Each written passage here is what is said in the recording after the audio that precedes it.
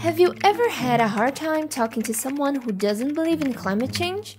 Here is a simple guide to help. Respect always. Even if you disagree with their opinion, listening shows respect for the individual instead of making them feel lectured or judged. This allows for an open and constructive conversation. Find points of connection and shared values. For example, if they care about the economy, try to talk about the economic opportunities associated with renewable energies. Don't get fooled by fallacies. Fallacies are illegitimate arguments or irrelevant points. Avoid fallacies in your own arguments and watch for them in the arguments of others. Stay well informed. Making solid and respectful counter arguments against misinformation starts with being informed.